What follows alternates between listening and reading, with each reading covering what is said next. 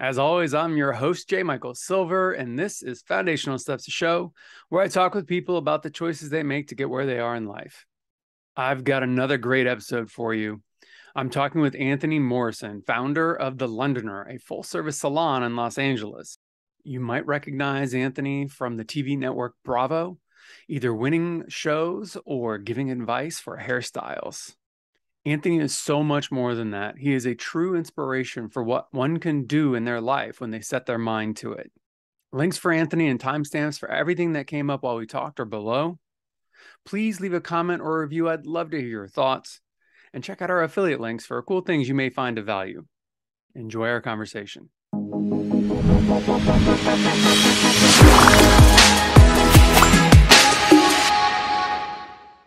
Anthony, welcome. Uh, excited to have you here. Um, Happy to be here. so, I do, just to start off, give give me a, a, quick like synopsis, like a, a blink of like who you are, where you're at in your life right now. Like how how would you uh, quickly define yourself?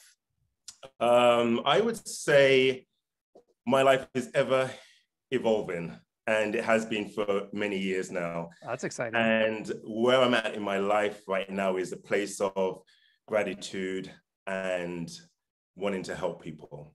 And I've always wonderful. been that way, but um, just of late, it's been even more more ramped up. I really feel that there's a calling to do something really quite special um, in this world. You know, we only have we're only here. I always say we're only here, but for a moment, it's for just a, a blink of an eye. Blink, we're on this yeah. earth, and you know, what's your legacy? What will people, you know, be reminded of when you're no longer here? How have you impacted? How have you helped?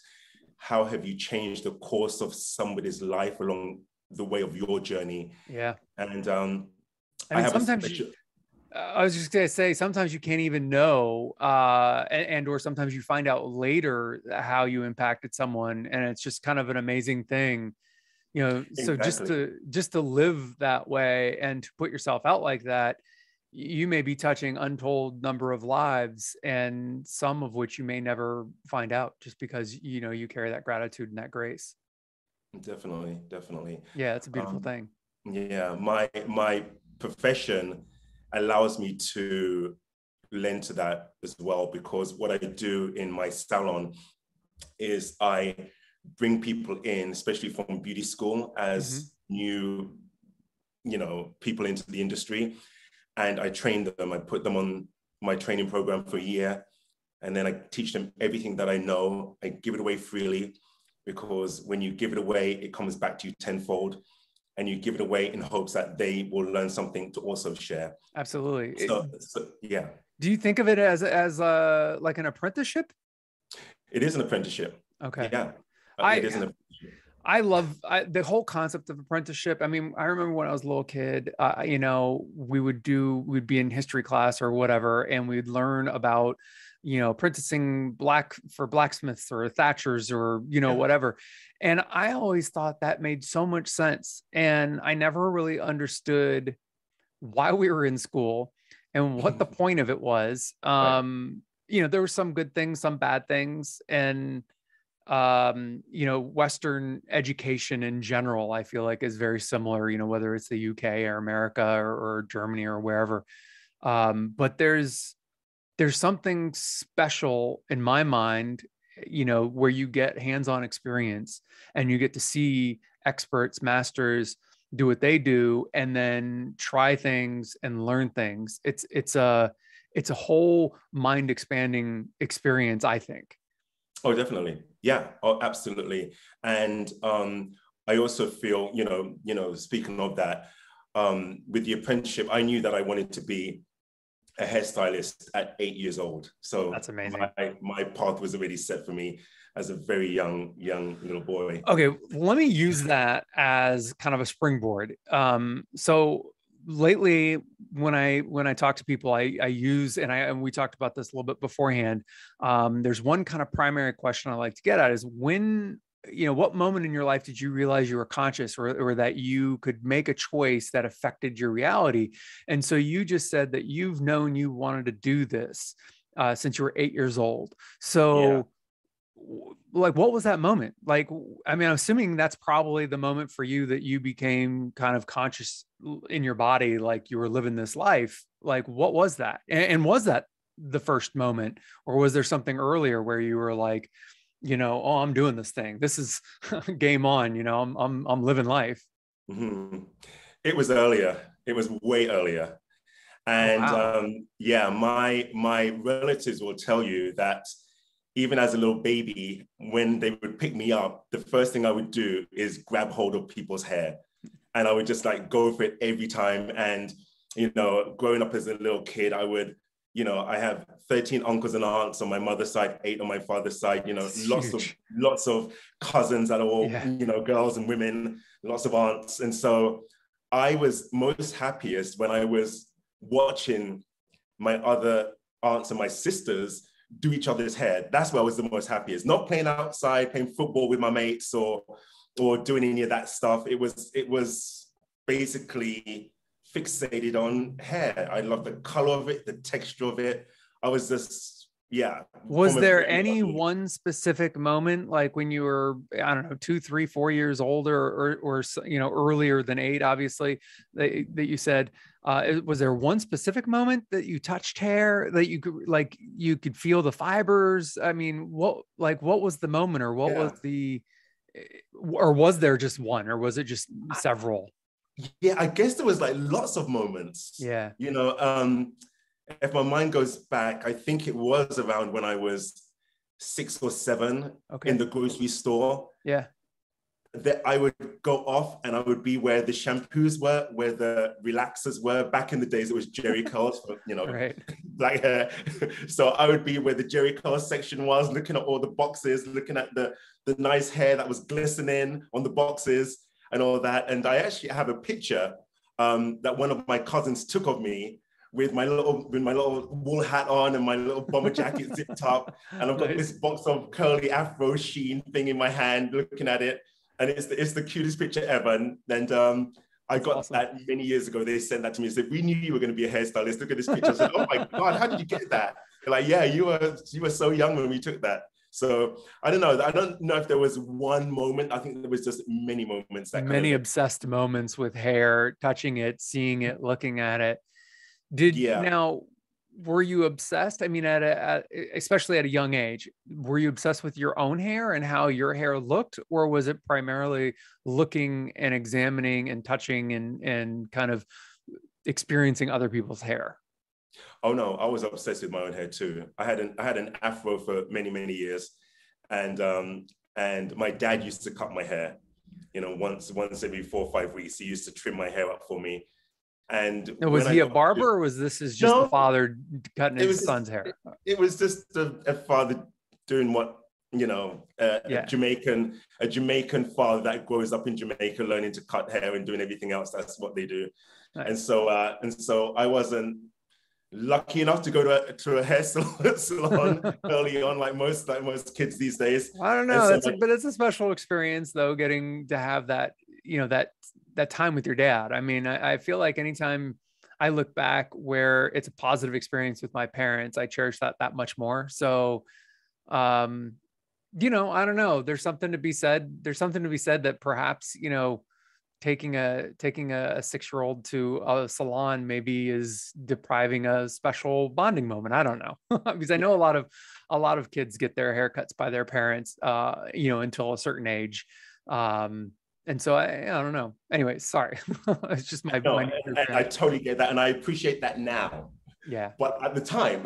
oh, fair. Yeah. you know, when enough. I'm showing up at school with the dad cut, you know, and all, it's like, oh god. Yeah, yeah. Will this ever go out? And so, and so, but now my dad passed away in 2004. I look back at all of those moments absolutely, and just oh, treasure every single every single special moment that we we we ever had. Um, but uh, yeah, so you know, and then going to my first hair salon, barbershop to get my hair cut. That was another experience as well, getting this really professional, great cut that was just, you know, everything that I'd asked them to do, they did. And it was just oh, wow. really great. So um, so that kind of was also part of the journey after that. Then it was like, oh, my hair actually can look really good. Okay, so here we go. So, you know, um, but yeah. How old were you when you got your first like professional cut where you just looked and said, oh, yeah, this, is, this is working? well, when I was, I left school when I was 15 okay. and, um, and went straight into a five year apprenticeship in London. And then after that apprenticeship was over, I started working at an, a really amazing salon in central London but I was probably about 13 at the time when I had my first haircut, nice. my first professional haircut. And I used to work at a fish and chip shop. So after school, I would go to a fish and chip shop and I would peel potatoes for hours and mm-hmm. save up my money. And once I got enough money, I went and got myself a haircut. oh, nice. Oh, that's great. So your first experience uh, was was something you worked for then. It wasn't like uh, it wasn't a special gift. It was, you know, a special uh, moment for you because you had really earned it. Yeah, and um, you know, my dad, my mother died uh, giving birth to my youngest sister mm. when she was 27. So my dad was an immigrant from Jamaica, came over to England with my mother in the early 60s, got married there, um, had two children. On my third, my mother was giving birth to my sister, third child. And meanwhile, giving birth, she passed away. She had a brain hemorrhage. She passed away. Oh, wow. My dad went to the hospital with two children, came back with three children and no wife. And That's so, heavy. yeah. And so, you know, um, it was, it was, it was, we didn't have the easiest life.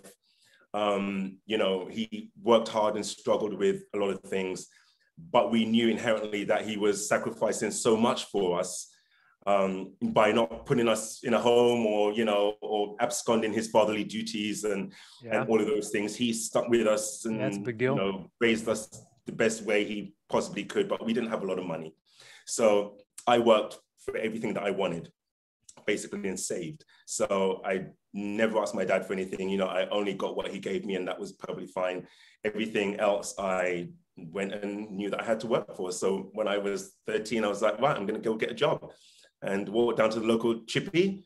Um, I was in for a job. They were like, sure. So got my first job at 13. and you're you're the oldest? I'm the middle. Oh, you're the middle. So I've got an older sister and uh, a younger sister. Gotcha. Mm-hmm. And were were your siblings also, you know, gun ho to get out there and start working and doing their own thing as well? Yeah, both of my sisters are very, very industrious. They're they're um they're you know much like myself and uh, they've been they they are successful. And, yeah. Uh, do and, do was your father an entrepreneur, or was that really more kind of you you and your sisters took that on kind of thing? Yeah, my dad was a factory worker. Okay. Um, came over from Jamaica as part of a program that England had with Jamaica at the time because Jamaica was part of the um, you know part of the British British colonies. Okay. And, and um, so at, in the 50s, 60s, they had a partnership with um, a lot of the Caribbean islands for people oh. to come over to England and work. So that's what my dad did, and he got a factory job, and um, that's pretty much what he did until uh, until he retired. Oh wow, okay. And once you, I mean, you wanted to do hair at age eight, so I mean, you know, you got a job at the first place you could get a job, that you know, the the uh, fish and chips place. Um, what was there? And I know you've had multiple salons uh, was there any other you know kind of entrepreneurial endeavors you know prior to you know prior to having your own first shop i mean like you know you went and you worked at the at the at the um at the chippy, mm, um, the, yeah uh, and then you did your five year apprentice which i'm assuming there was a, some pay there as well and, yeah. and then you went on to um, so were there any other entrepreneurial things um, prior to opening up your first salon? I don't know if they were entrepreneurial with regards to making money, mm-hmm. but I've always been, you know, and, and I and I opened up this conversation by saying that, you know, I've always been in the mindset of wanting to do for others, help, yeah. you know, support. And so it's it, it's always been that way. So as the, at a very young age, I had a um, a photography club where we get like my local friends to come around and we would. My dad had one of those cameras that you know you pressed it and it opened up like a you know those yeah, um, yeah, yeah. those old fashioned cameras Yep. that open. You, you, know what I mean? I, can't I know what you mean. I, I can't think of what it's called. Um, yeah, I know what you're kind. It opens up and it has it, like, is it the kind you look down here and then the lens comes out here and exactly. yeah, yeah. Exactly. So he had one of those, and uh, I started a photography club, and then I started a boxing club, which didn't last too long because I got hit a couple of times, and that was not good. Yeah. and then I started a disco club, you know, in my in in our in our shed in the back. You know, got all the all of us to get together, and I play music, and we'd all dance. And so I've always been into organizing, arranging, getting people together. Um, community and- development uh, to some extent. I mean, yeah, yeah, yeah, And and that's that's where I'm most happiest. That's why I've kind of gravitated towards salon ownership, business ownership, because I I think I'm good at it. Um, I know what it takes to be successful, and um, I have the right mentality for it. You know, because Yeah. it's not just about me. It's yeah, about it's about we and you know and if you're successful i'm successful Yep. and vice versa and we it's all win. win-win. yeah so so that's that's how i've managed to own three salons here in the states and one in england as well Yeah, that's amazing.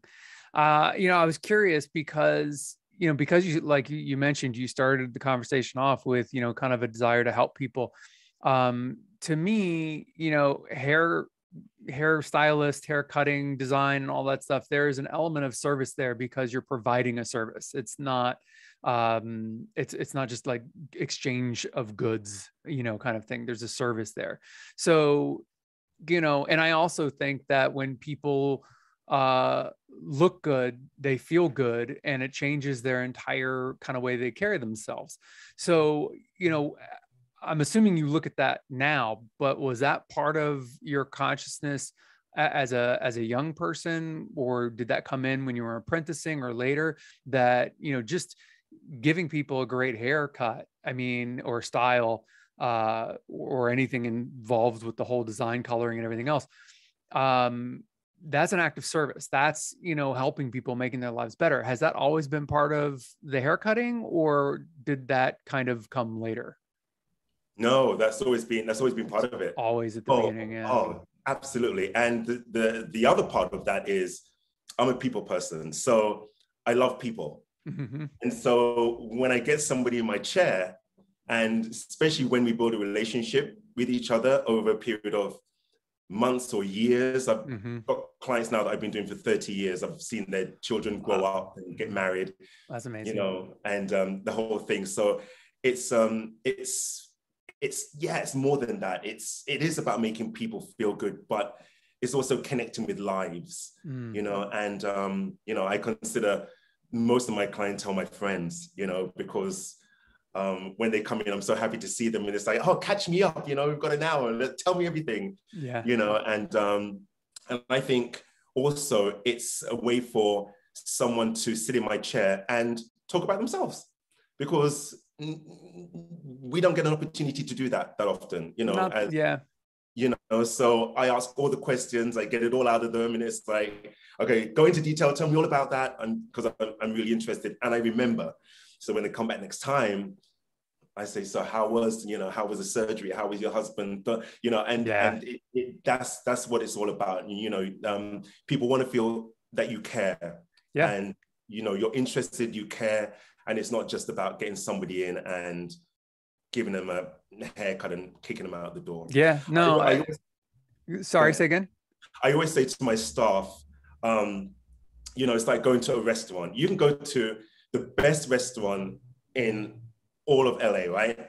And you could have the most incredible meal. It's like, oh my God, it was, but the service wasn't up to scratch. You know, you felt you you felt you weren't welcome there. You didn't feel valued as a as a as a customer. You didn't feel you know, you know what I mean. And so Yeah. you walk out of there feeling like you got the best food, but the service wasn't good. You Yeah. won't go back. Whereas you go somewhere where the service is, where the food is, you know, good, was amazing, right but you were treated like absolute gold and you felt so good walking out of there. I'm going back. yeah You know, I'm, I'm definitely going back. And um, that's what we that's what we try and do here you know my my staff that i i, I hire it's all about customer service. It's all about making that's fantastic. Yeah. I, I mean i i kind of view life as customer service you know to some extent you know being of service i think is probably you know the the point of life to some extent. I mean yeah. like you know you could I, I i could I could argue even on the the opposite side of that. But you know, if you really kind of get into it, we are um, we are creatures that I mean, we can't really live on our own or su- survive on our own for the first several years. So we're basically it's baked into us from a very early age that we need at least one or more people to survive, and the more people we have to survive, the better off we are. And you know, you're only as good um, to the community as you are in you know in your best self. So the better you are at being your best self the better you can give to the community or you know to to your you know group. And that's kind of it. That's kind of everything you know. After that like you know I, I, mean, it can get a little bit gray at times, but I think you, I think we really need to all distill it back down to what am I doing for my community, and and your community will make you a better person by virtue of saying this is what I really want to do and what I really want to give, and I'm trying to do this the best way I can, you know, and your community will you know lift you up and then you'll in turn lift them up even even more that's kind of my my thinking. No and i i, I completely agree with that you know um you know when you really look at what we're here to do and who we're here to serve you know that's that i think what you just said is so integral yeah. Yeah and it's amazing especially in a position that you're in you get to sit and talk with people as you're being creative and as you're offering a service but you also then um, get to give them an opportunity to be heard and be seen in, in a very special way which you know i used to bartend and you know it was difficult for me as a bartender because what i really wanted to do is be the stereotypical bartender where i just sit around and talk to people all day. Yeah yeah yeah. Um, but to actually make a living i had to you know sling a lot of drinks and you don't really get to talk to people as much. And um, you know part of the reason why I'm doing this, I mean, part of the reason why we're talking is because I would like to just sit around and talk to people all day. Yeah, so it's like, great. I better have a podcast. yeah, yeah, yeah. Um, amazing. Eh, you know, and that's, you know, you kind of have a, a, podcast every day, you know, in a very intimate, you know, setting. It's not being recorded perhaps, but, you know, that's, that's kind of what this is, except every single day with uh with some of the same community a revolving community and you know people get added you know i'm sure on a regular basis and then as you apprentice new people uh, that must be you know in- increasing and well tell me if you see it this way but when you apprentice someone even if they go on someplace else you must feel in my mind you must feel like your your reach is expanding through this new person that you've you, you know you've touched their life yeah oh a hundred percent because uh if they make it through my apprenticeship and they then decide to leave uh I've given them a set of skills that they will always have. Yeah. So they can't deny not going, not this part of their life. You know, I always say, what is your story going to be in 10 years from now, in five years, 10 years, 15, 20 years? What is your story going to be? You are building your story right now. Yep. And every day, every moment that you are here on this earth, your story is being built. So, you know, this moment that you're with me for this one year of your of your apprenticeship, it is so minuscule in comparison to the longevity of your career that you are about to embark on. Mm-hmm. So, in this time, really enjoy it, grasp as much information, as much knowledge.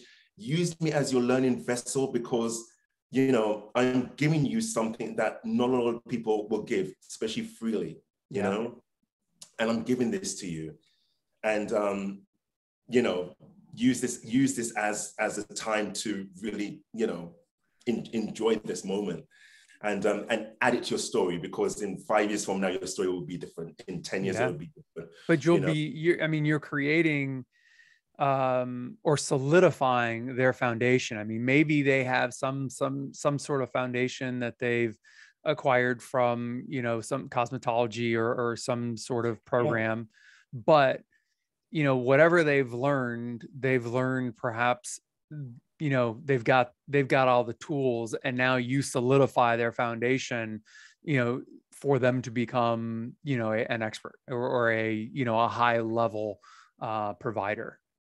Yeah most definitely. And every time that i take somebody on and train them i become better. Oh i'm sure. Yeah i become well, better. I, they say become... the uh, the best students are are teachers.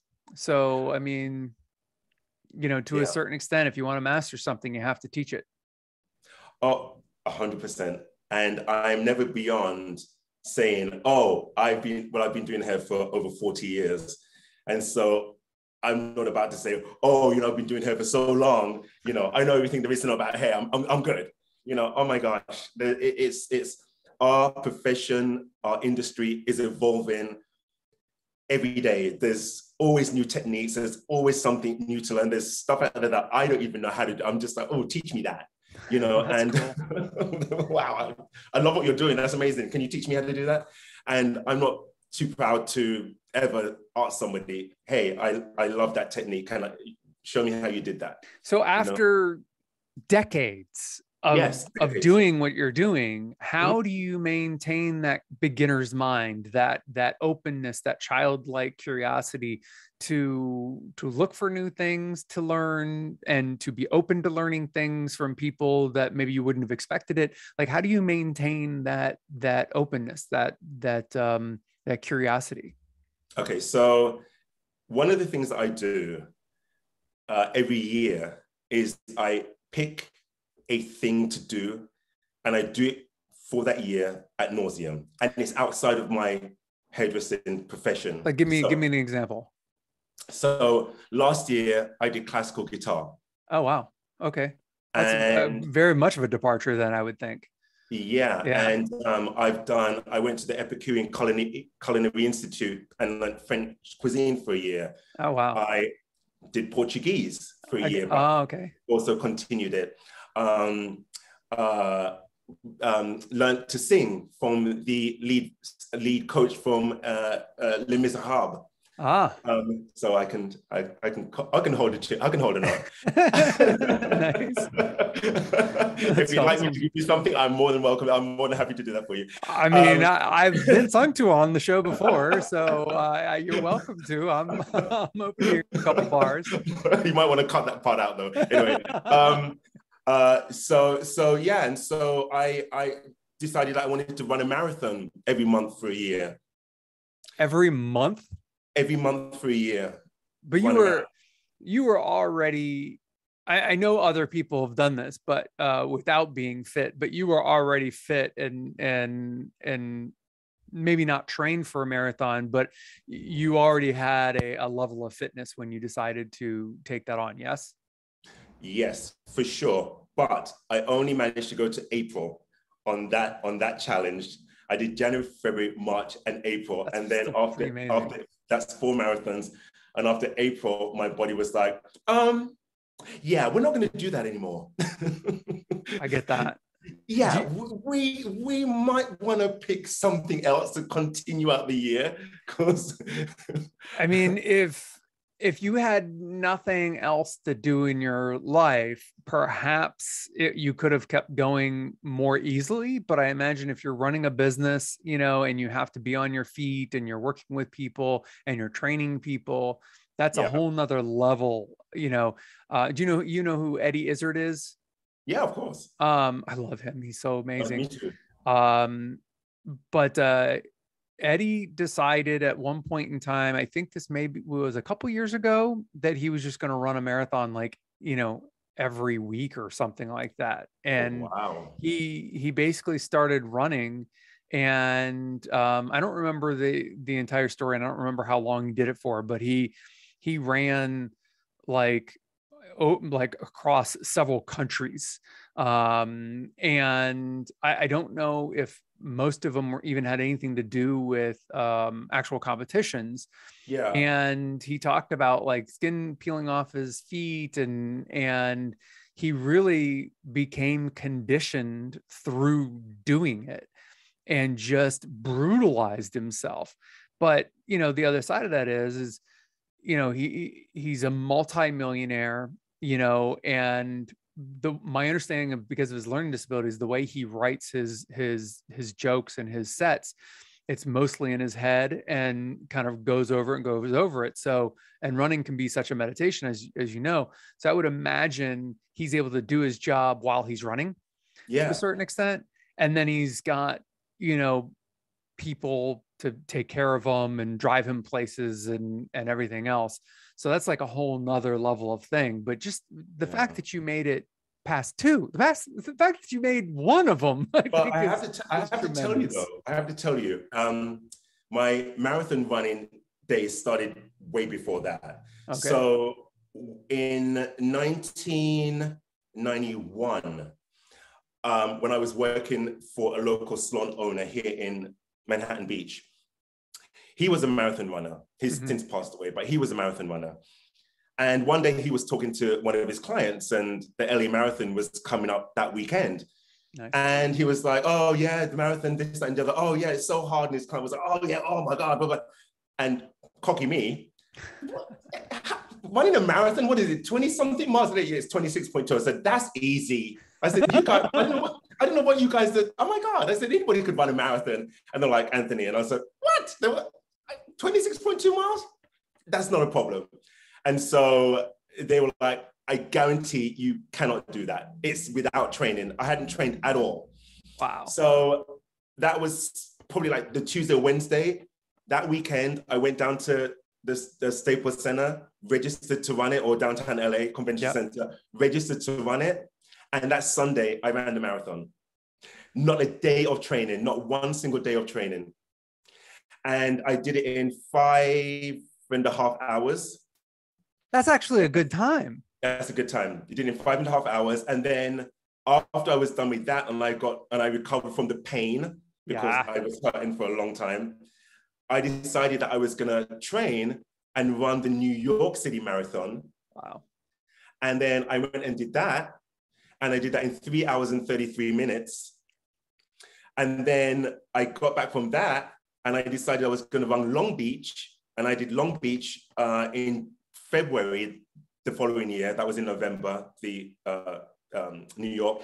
Then February the, the next year, I did the Long Beach and I did it in 309.50, which qualified me for Boston. So, and it just kept going on and on and on. So my times are getting faster and faster and faster. And my boss was like, oh my God. Actually, when he came to my house the morning after I did the marathon, which was the Monday, he came to pick me up to take me to lunch. And I had on these um, these Timberland boots. I never mm. forget it. And I had them laced up so tight because the actual boot was holding my ankles and my feet together because I could barely walk. Yeah. So, you, you, you had like a splint. Uh, oh, effect. It was like yeah. a splint that was holding me up. Boy. And uh, he was just like, I cannot believe you went and you are insane. And so I said, well, if I can do that in five and a half hours, I wonder what I could do if I trained and really put my mind to it. Yeah. So 333 was, and then 309. Yeah.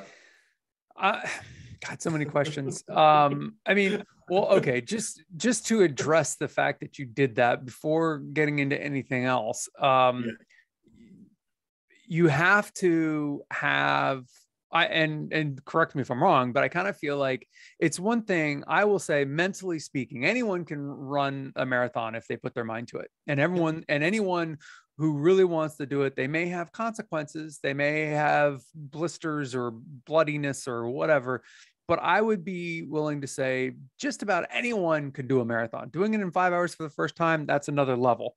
Um, getting better and better, that yeah. makes that now makes me think that you have a natural gift of athleticism and you know because there I had a, a, good friend of mine. She was an ultra marathon runner, and I Mm-hmm. remember going with her to one of her competitions. She ran, uh, I think it was over 50 miles or something like that, and through. Um, um, it was the in the shadows of giants ultra marathon so this was like just outside of yosemite or or partially in yosemite so it's kind of up and down trail running and yeah. she came in fourth uh overall and number one for women by like an hour or something like that. It was like she had some ridiculous time. And in talking to her about her running because running to her was like the ultimate meditation um she talked about learning how to improve your gait and your step and your foot placement and and all of that other stuff. So to some degree in my head i'm thinking you must just naturally have like a phenomenal instinct or or kinesthetic awareness. Um so is that part do you think you have that? And then how much you know train when you started to train and you started to take it seriously did you have a running coach? Like what was how did you master your body to find out what you were capable of of doing in in those in just in those few marathons well going before that uh, in high school i ran track okay and i so and there I was some ran, history there and I also ran cross country in in in in England as well. So I was a cross country runner and I was a track and field. So I did so you know that kind of gave me some training for running. Yeah. So you you must have had some really good coaches that gave you Oh. a, a basis to build on. That's 100%, amazing. Okay. 100%. And then when I started training here, I didn't have a coach here, but what I would do was I would go down to the Strand because I lived in uh, Manhattan Beach at the time. Right. I I live in West Hollywood now. So I would run down to the Strand. And very much like what I did with all of my marathons, is I would just start to pace people.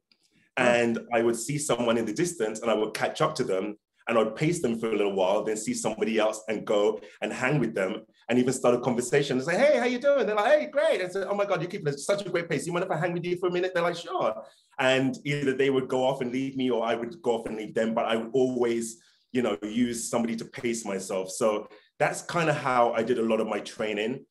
And um, Can can I, I- ask? This is a little bit of an esoteric question. yeah, In the moments where you're pacing people, whether you're doing it from a little bit of a distance so that they don't necessarily know you're there, or Yes. whether you're actually right side by side and you're having a conversation, do you get a sense of like where your body and their body, like you're like again a little bit of an esoteric question but do you get a sense like your body is learning from theirs or even vice versa and and like you're kind of learning that okay yeah. Oh, oh my goodness. Yes, yes, very much so. Because when you do that, you take on their stride. yeah and you just you, you, it's all it's like you morph into that person Mhm. um whilst you're with them because um especially and then if you if you're not then my pace would go beyond that and i would just keep going Yep. but if they keep in a really good pace i'm like wow okay i'm going to try and hang at this pace so let me do what they're doing okay they're taking they're taking longer strides Mhm. and they're not doing a short stride here. They're, and I'm going to try and match that. So yeah, so it's almost like um, metronome. You know that tick Yeah. tick tick Yep. tick tick. It would almost be like that, where you kind of like get on their their TikTok and you just keep going at their pace. That's cool. That's really cool. I, you know, there's something to be said. I used to, um, I growing up, I did martial arts from a very young, very young age, and and then I got into um, breakdancing in you know in the 80s uh, when I was a kid, and then in college, I got into like modern dance and improv and and other forms, and I then started teaching dance, and um, so kind of the kind of, and I'm also an athlete of other, uh, you know, other sports as well Yeah. um but there's something from in my experience and um which you know which is the reason why i asked where you know matching someone else's body feeling their body even from a distance um and taking that in it's kind of like empathy. It's kind of like you know when you see someone you can just know they're sad or know they're happy. It, and you can kind of and that kind of can change your mood.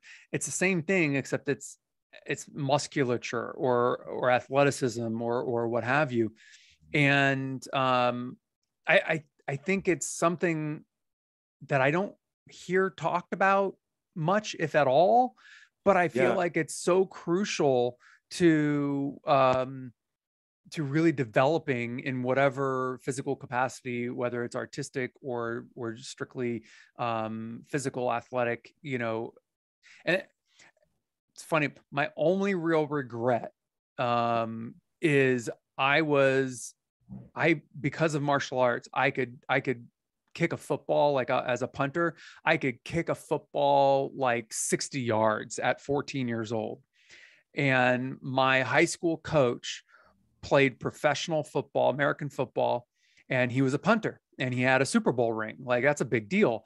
And I was too young to really understand what that meant. And no one explained it to me. He tried to get me to continue playing, you know, the rest of my high school career because he's like, just all you have to do is punch, just come on the field, you know, every now and again, you can train, you know, we'll get you kicking. And um, he, I don't think he never said you could get a scholarship, which may or may not have impacted me. He never said you could get, you know, you might get paid six figures to go and play for the NFL if you continue at this level. Like, or if he did, it just didn't reach me. And looking right. back, having an opportunity to have trained with a an elite punter kicker um to be eh, because I had a natural talent for it like it's the only real regret I have because that was an opportunity that I understand now, but it was never conveyed to me and I was never able to see it when yeah. at that age. Um, and and so when did know, when did you when did you realize that you had that that was an opportunity that you had that you regretted? Like what what what part what part of your life led you to that to that conclusion I, that, that's that a good question and yeah. i've never really thought about it no one's ever asked me um, i would guess um, i don't remember one specific moment in time where yeah. i was like oh shit i should have done that um, but I, I think i was in my early 20s i think it, mm-hmm. it was maybe shortly after i moved out to los angeles because I came out here to be an actor and I've been performing my entire life. You know, oh, wow. the the thrill and the the aliveness, the the um, uh, the lucidity on stage performing, um, you know, from a very early age was everything to me. Like mm-hmm. because I was able to feel the audience and I was able to have a conversation with the audience while performing my lines or mm-hmm. while you know interacting with the folks on stage and it was like i was bilocated and two i was i was in the audience having a conversation energetically with them and i was in my body on stage doing what i was supposed to be doing. And it was a magical conversation. And and i remember in sixth grade um you know one of my kind of you know m- real moments of clarity um is everywhere i walked every eye was on me. Every word i spoke they were tuned in and i could mm. just feel and i just knew this this thing was happening and i was like this is magic. This is like what you see in star wars the force or you know um uh whatever whatever you know fantasy movies that i was watching and mm-hmm. books that i was reading like this is magic. This is what it is. This is this is everything.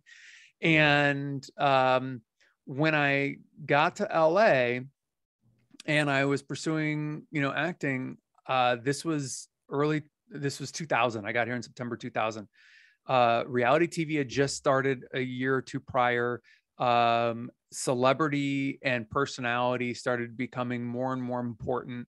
And I and somewhere in the first couple years of being here, I realized that man, if I was a pro football player or a pro athlete or an Olympic athlete or a a celebrity musician or anything that had some level of whatever, I would have uh, opportunities that I am fighting to get and I'm not getting, you know. And for five years, I fought for auditions and I didn't, 99% of the time, I couldn't even get in the room to read. And it was so frustrating. And it was somewhere in that time that I, I, I was like, man, I really wish I would have become an expert in something that had a, a little bit straighter path. Yeah. And, um, and it was around that time that I realized that I probably could have played professional football as a punter. Like okay. I, I, wouldn't be. I'm five ten, you know, on a on a good day. Uh, you know, like I, I I'm right now. I'm probably like 170 six eight when somewhere right in there. Like yeah. at my biggest when i was lifting weights i might have been you know 215 220 when i was really pumping iron but that's tiny for you know most football players. Yeah. And um so I, I probably wouldn't have done anything else but they pay they pay a lot of money it's, it's an important strategic position. I never knew. It never occurred to me. If yeah. you're not the quarterback or you're not the running back or the linebacker, like, you know, the wide receiver, you know, those are the glamorous spots. So it, just, it was like, ah, whatever. Yeah. I just didn't yeah. know. Yeah. There you go. There you go. So long diatribe about me. Sorry no, about no, that. Um, no, no. Thanks for that. But yeah, I mean, it's, you so you were a runner and you actually got some great training. Did you ever think about competing? Because you you left school so you didn't go to college you didn't go to uni. Uh mm-hmm. you didn't um you obviously didn't pursue you know olympics or anything like that. Was there any part of you that thought or were you ever told that you had a natural talent that you could have been like a, a gotten a scholarship or or anything like that no, no, I just knew that I loved sports. When I was in England too, I played squash. I played hmm. um, semi-pro squash. Oh wow!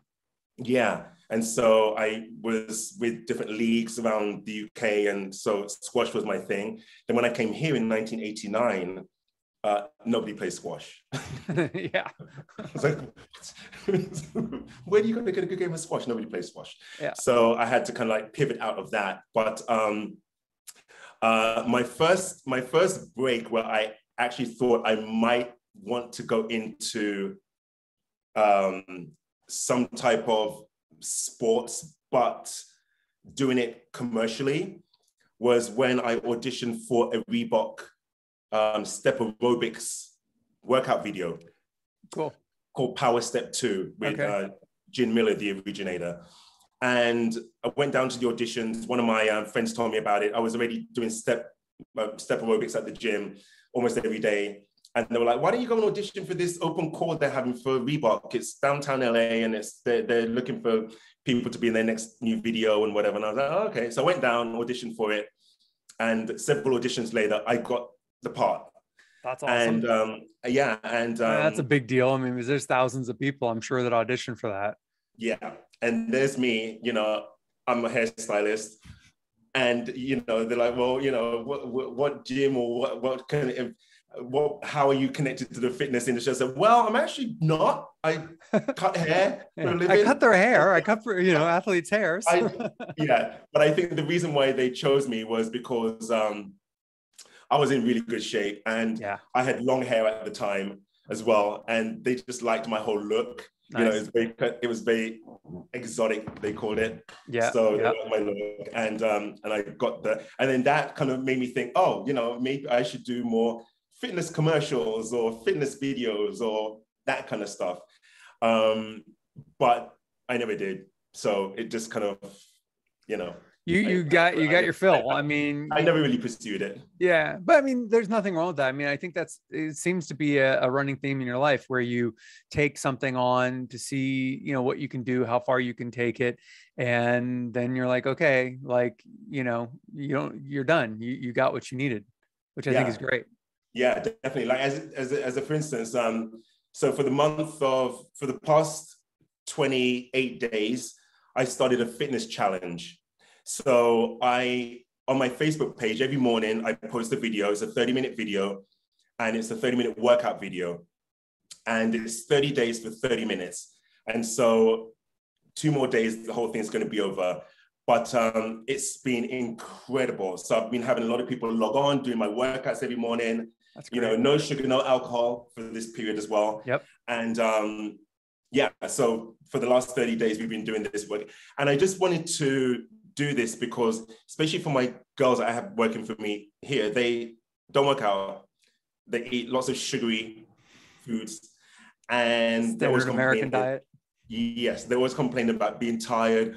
Oh my God, I had such a hard time getting out of bed this morning. Oh, I'm so tired. This, that. I'm like, right, okay. So I started this thing and it wasn't aimed at them, but it was, you know, yeah, to of course. also get them involved, as well as a lot of a lot of um my friends and family members and different people, you know, from everywhere. So it's, it's been really good. It's been really good. It's really fun. The workouts are challenging but um, no weights included. It's just all, you know, using your body weight, you know, squats, sit ups, push ups, you know, that kind of thing, you know, jumping jacks, all that kind of stuff. I mean, that kind of gets back into that kind of esoteric question I asked earlier about, you know, being aware of, you know, how following someone or falling in sync with someone kind of can change you. I mean, here you are now, obviously a super athletic person.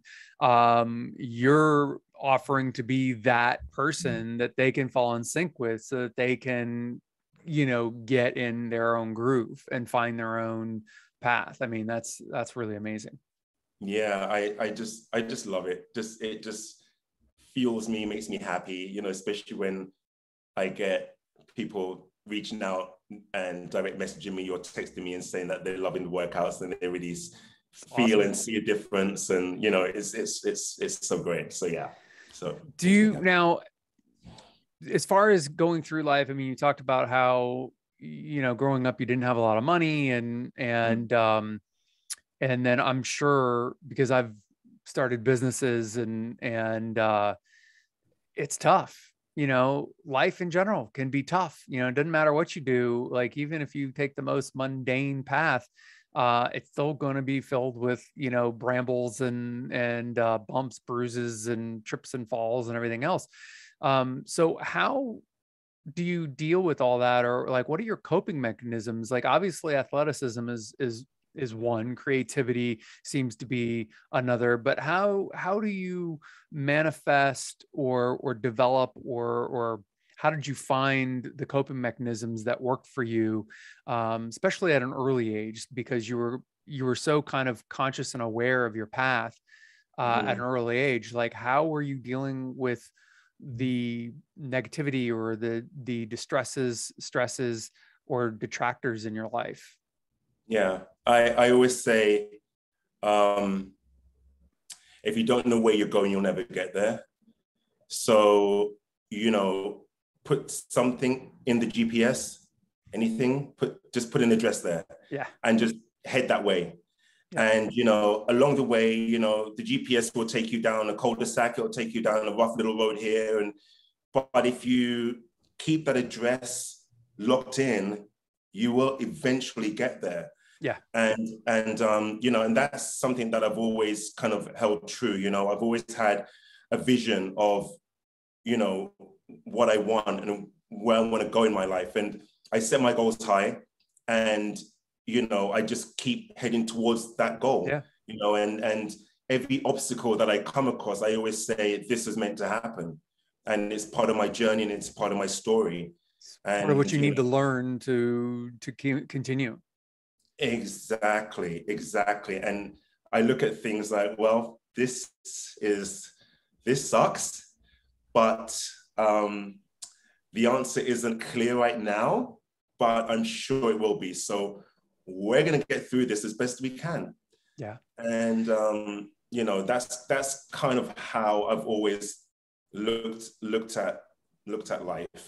Do you have, um, I mean, to some extent, it sounds like self-talk. So you're talking to yourself, and you're you're kind of uh, zeroing in on on or reminding yourself of that goal do you have any specific practice that goes along with that like you know like a meditation or mindfulness or drawing or or um, any any anything that kind of gets you because you know you have that emotion you have that experience someone says something and you're set off now theoretically, if if if you just let it go, it's going to be gone in a minute.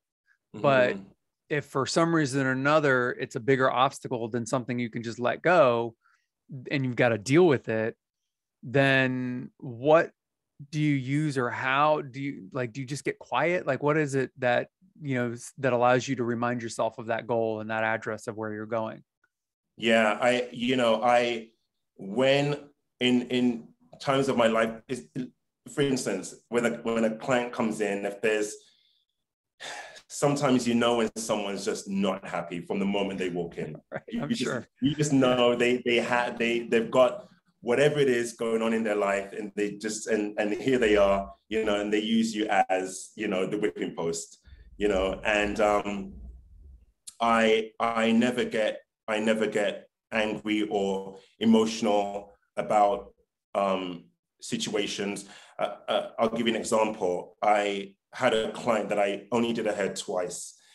And the first time I did her hair, um, every time I would take a section and cut, she would go, okay, hold on. Okay, hold on. Okay, go ahead. And wow. I would take it and I would cut again. And she would go, oh, wait, wait a second, wait. Now, she had been going to Vidal Sassoon in LA and New York. She was very high profile. She was, you know, all that. And she, I just don't think she trusted me. Even though, and at the time I had just won the show Shear Genius yeah. And she, you know, that's why she came to me because I was a season one winner and she wanted somebody exceptional. But there was that level of trust that wasn't there still. And so I said to her, okay, so I get it that you want to keep checking your hair because you want to make sure that it's good. I'm going to allow you to do that after I'm done with the entire cut because every time you put your hands through your hair, you you you kind of mess up my sections and I don't know where I'm at. I need to resection everything. So can you just not do that? So we got to the end of the haircut and she did it several more times after that. She came back again. The same thing happened. I Actually smacked on the wrist with the comb. I said, you're doing it again, stop. she left. And then that night I called her up and I said, you know, I was in, in my office and I was like, okay, so I could go through this again or I can deal with this. And, you know, as an artist, as somebody that um, has been in this industry for a very long time, I don't need to have somebody make me feel bad about my profession and what I'm doing and you know all that. Even if you don't been doing it for a year, like that's ridiculous because it's just a lack of respect. If you don't want to be here, don't be here. If you don't trust me, leave. And if it's a bad haircut, don't come back and don't tip me. Like, mm-hmm. exactly. So she picks up the phone after I called her and I said, Hey, I said, this is Anthony calling. And, you know, do you have a minute? And she goes, Yeah, yeah, totally. What's, what's going on? And I said, Well, you know, I got thinking about, you know, um, your haircut today, you know, you were in, um, and I really think that it would be best if you found somebody to go to that you trusted because it doesn't seem to me that you trust what I'm doing. And she goes, Oh my goodness, Anthony, I can't believe really? And I said, Yeah, because you still check my work, you still, you know, put me through all of this angst when you come in with your haircut. And she goes, I love my hair. You do an amazing job. And I said, Okay, be that as it may, I really do feel that it's better if you go to somebody else to get your hair cut because I can't do your hair anymore because I feel terrible after you leave. That last two times I just felt terrible. And you know, I don't want to do that to myself anymore. Life's too short. And she and she was, I can't believe this. I uh, I don't know why this is ridiculous. I love, I love the work that you do, and I, I you know, and I'm so sorry. You know, is the end? And I said, yeah. I said, well, I said, well, you know, we're good. I said, you know, good luck. Good, you know, if you need a recommendation, I'm happy to find one for you. You know, somebody of your ilk, somebody that you like. But um, I, I just can't do this. And she goes, I, well, I, and so I, I handled that in a very professional, polite way, you know, whereas, you know, I could have just been, you know, whatever on the phone, but that's kind of, I go there first well, you, you know? could have also just said, you know, whether she was calling you to book or or someone else in your office to book, you could have just said, "Don't ever book. I'm never available for this person again." I mean, because I'm sure other people do that. Where like, oh, for this person, I have I, I, have never ever ever have an available slot. You know what I mean? You could have done that. I mean, and yes. so, by by facing it in my mind by facing it you are you know you're giving her an opportunity to see you and see herself more importantly correct. because you know eh, hopefully she'll respect you for it. And then hopefully again and this is in my mind she's going to be able to see herself and grow from it and and not do it to someone else well, probably is not the first time that's happened. I'm, I'm guessing. Yeah, probably not. so, yeah. So yeah. So uh, I, I tend to err on the side of grace um, in situations. You know. Yeah, I mean it's a it's a strange thing. You know, I've I've been playing with ideas around service and being of service and um, I've written a ton of blogs or materials or mm. essays and I don't really post them. I'm going to post them. I just haven't felt ready to post them for whatever reason um, it's just kind of all part of what I want to do with foundational steps and and you know eventually I'm going to post them and do like little videos like little one minute or 30 minute or uh, 30 second kind of like intros to like okay I've written this thing this is what it's about here's the basic you know you don't have to read it if you're listening to this because here's the you know main points um but it's there if you're more into reading you know like i'm thinking i'm going to do something along those lines. And you know one of the things that i put down as a note for being of service is to you know to truly be of service it's not just about giving it's also about restricting and and putting parameters on things because you can't really truly be of service to someone if you're like let's say I'm, I'm, a rock climber so if i take someone climbing and i'm trying to do them a service to teach them and guide them if i don't put parameters and restrictions and and and you know have some some real strict rigor in there they could kill themselves and they could also kill me. So you know to truly be of service it just as much as you have to be compassionate and, and giving um, there is a need for you know strict rigor discipline and and um, you know the the opposite of what some people might think of of being of service because you know you're creating boundaries. And you know i think i think you know confronting someone like that is not only professional but it also is a is a greater service than just cutting their hair because you're treating them as as an equal you know because that's how you would i'm assuming that's how you'd want to be treated. You want someone to tell you if you know you were doing something that was getting in the way of someone being great. Like if you if you hired someone to uh you know interior design or or uh, lay tile or you know whatever like you know you don't want to get in their way. They're the expert. Let them do what they do. Exactly and if you're not happy then afterwards say i thought the grout would be gray instead of black i don't know whatever but, yeah yeah um, no it's it's i i totally agree with that um yeah and it's it, it is it, it by calling it out you're you know they they are also learning, you know, like, wow. Because if somebody did that to me, I would, I would certainly go, oh my goodness, let me look at that. Wow. Was I, what, to get fired by your hairstylist, you have to be pretty bad.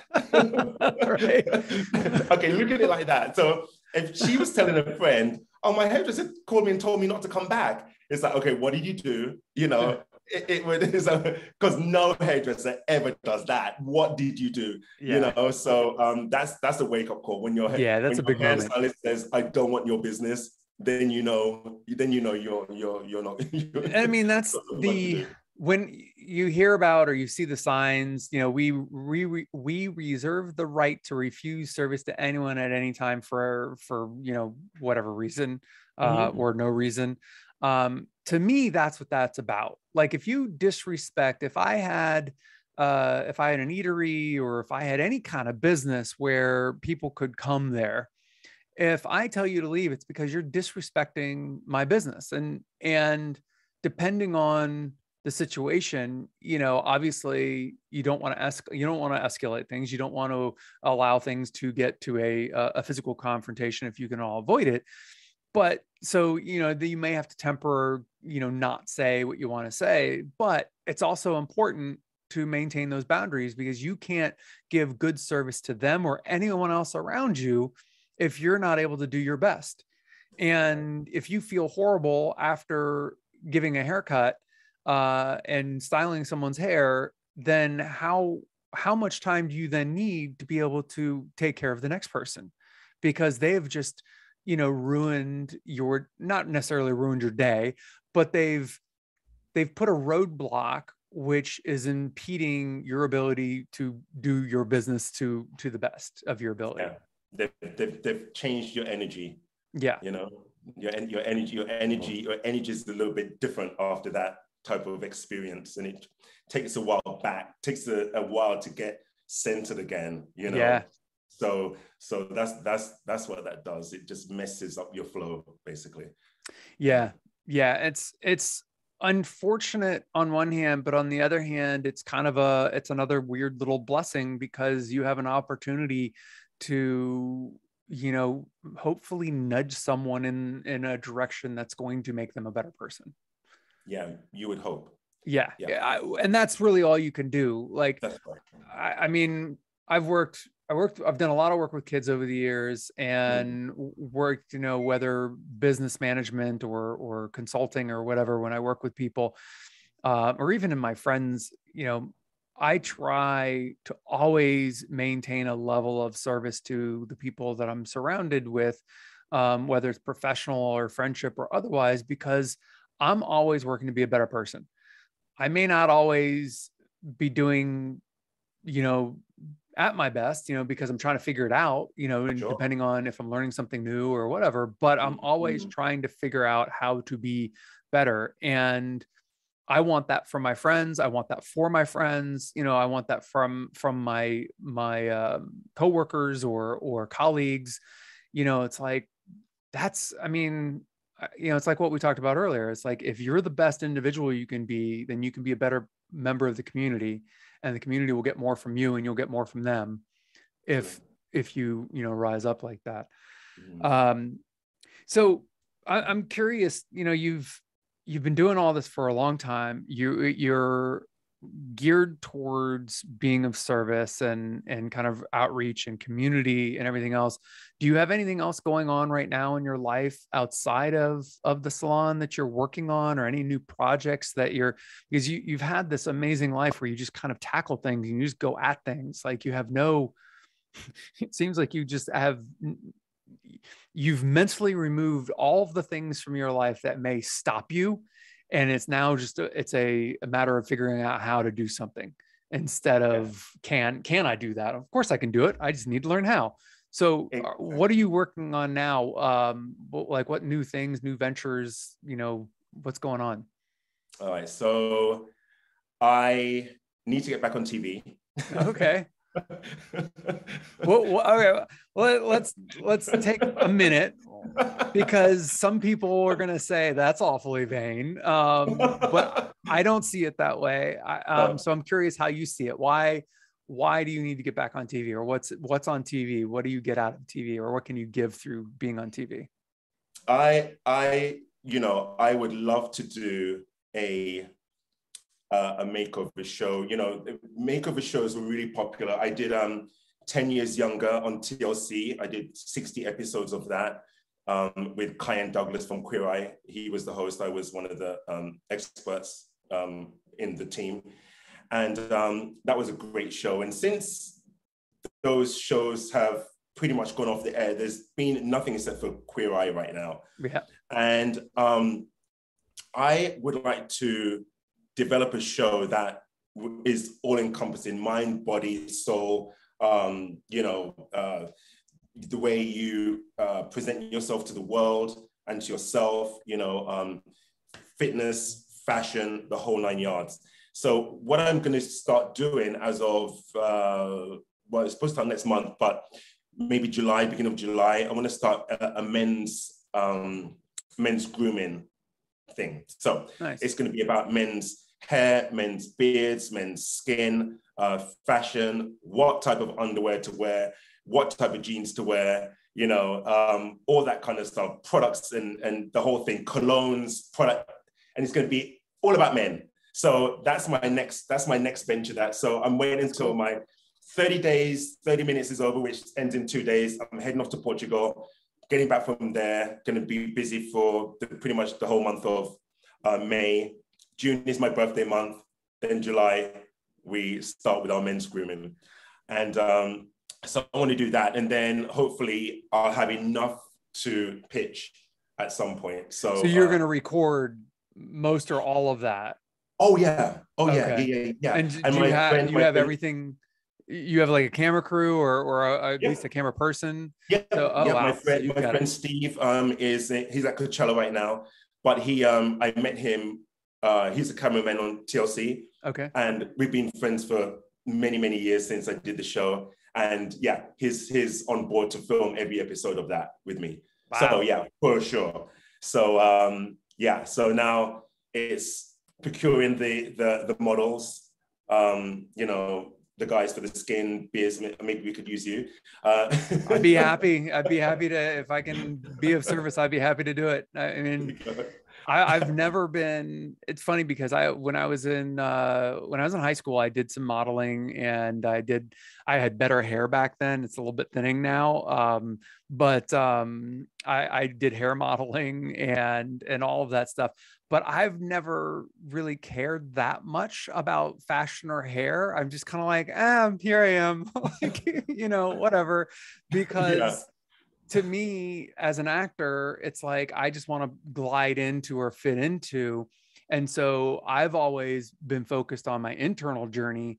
Wow. And being a good looking person has actually gotten in my way because I've I've wanted to play character roles. In the first five years, one of the biggest problems I had was I was going into auditions thinking I was a character actor because I had training and I had experience and I'd done all the stage work. And they're like, no, no, we just want you for this. Yeah, yeah. we don't care about this breathing or how you're walking or or this this emotional thing. We don't care about any of that. Just, yeah, just yeah, say yeah, the yeah. words. I'm like, yeah, okay. You're like, oh god. You're like, okay. but I've I've embraced. Um, I've embr- I, under- I understand. I've finally made peace with the way I look uh, over the last few years. Really, yes. I'm 40, 45, almost 46, and I've only You're recently in the last five years feel like I've made peace with you know the way I look and and and everything. Um but it, yeah i mean I, I, would love to be a part of eh, you know that if that's something that yeah. I could actually if it works for you and yeah definitely. Yeah, yeah i would i would definitely sure I'd learn a lot. Yeah. You know one of the things i always say you know even when i interview here at the salon right i always have this one thing that i always keep in my mind you never have a second opportunity to make a first impression so when that employee walks through the door, that's I see you for who you are. Yeah. That's you came to an interview to my salon and that's you prepared for this interview i'm going to assume and that's what you're giving me so I, I i i go by that because the second time i meet you you could that could all be changed but i'm remembering oh, yeah. the first time yeah you know the first time i met you that's my impression so um you know, based based on that, you know, for different situations, I feel, you know, um, us guys, we need to approach different situations differently, you yep. know, and go into each situation with a different mindset or you know and we need to focus on the outside a little bit you know we do and it's one of those things that like i've learned like i i mean i strutted my stuff when i was younger but i did it out mm. of uh, out of a, a, sense like i have to or i'm supposed to people expect yeah. this of me mm-hmm. um and i think that that's a very common thing um for for men and women for yeah. for for people in general because we you know we are kind of expected that if we fit certain things then we're supposed to go in that box and and fill that box out. And then you know now with a lot of the way the world is kind of evolving and opening up to uh, gender identity and and sexual preference and this that and everything else i think there's more boxes but we're still being put in boxes and saying this is how you're supposed to look. And so instead of saying you know which box do i want to fill out? or which boxes do i want to fill out? Um we just kind of blindly you know almost get um herded into a box and say you know people are treating you this way so you're going to have to do this you need to wear this and you need to do that and i'm like okay fine mm-hmm. and and it's that okay fine that gets us into trouble because that's the that's not the joy that's not the gratitude that's not the love of life that's the I don't really want to, but I guess I have to because you say, you know, I'm supposed to be this, so I guess I'm going to be this. Mm-hmm. It's like as an actor, I get to choose whether I take a role or not. But as a human, um, oftentimes we're not told that we get to choose to accept the role that we're put into or not. And that's, I think, what it really comes down to. And it sounds like you're going to help people or help men in this new project to empower them to give them the confidence to to really step into the role that they want to play in, in, their life yeah 100 100% um, that's awesome it's, it's yeah I, I i truly believe that and you know my dad used to say to me um, if you go somewhere and you're the best dressed person in the room don't be embarrassed about that yeah he, he always used to say that to me. That's important. And uh, and that that to me is, has always held true. So if I'm going somewhere, I'll put on a suit. I'll I'll I'll get dressed up. And my other half is like, "Are you? What are you doing?" And I'm like, I'm wearing, a, wearing a suit. It's like this is no. And I'm like, yes. it's like I've got jeans on. Good for you. I'm gonna wear a suit. And I guarantee you, when I go where I'm going, people are like, "Oh my god, you look amazing! Wow, you look great!" And he's standing there going yeah, he does look good, doesn't he? you should put a suit on too. So it's kind, it's kind of one of those things, yeah. you know. So um, you know, uh, you just got to feel confident in yourself, and um, you know, not allow you know situations to determine what you should be. You yeah. know, and I mean, uh, yeah, yeah. I think I think that's super important. And there's there's um, God, I can't think of uh a friend of I believe a friend of mine brought this up and I don't know where it came from maybe a famous author maybe just one of those anonymous things mm-hmm. but um there's something you know when you step up and when you you know present yourself uh, in your power whether that's through looks or intelligence or your expertise you know yeah. you are giving people permission to also step up and be their best yeah. and so um and i i, I don't I think it was my friend Ben Whitehair uh, who we were having this conversation, and it's really about the permission. Giving yourself the permission gives everyone else the permission to be their best, and that's kind of you know what you're talking about. I think. Yeah, beautifully said yeah exactly exactly yeah that's an amazing uh, that's a really amazing thing. Yeah. Um i think that's a wonderful place to end and we, you know we could always do a round two uh, at some point in the future but i feel like you know we've gotten some really great um it was it was just a great conversation.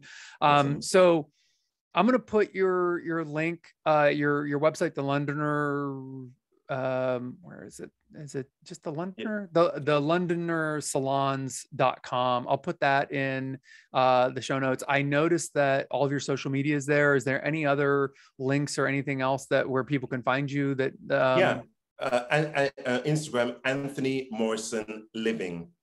Living anthony morrison living at living. anthony morrison living. Yeah okay. that's on instagram.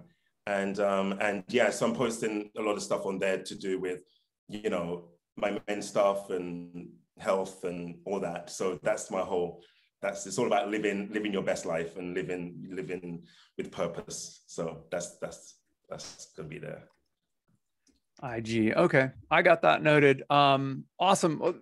Thank you so much. This has been a wonderful conversation. Yeah, I really enjoyed it. Thank you. Don't forget to leave a comment or a review. I'd love to hear your thoughts. New episodes every Tuesday and check us out on YouTube for short clips from each episode. Thank you. And until next time, remember your life story is yours to write and rewrite as many times as you want.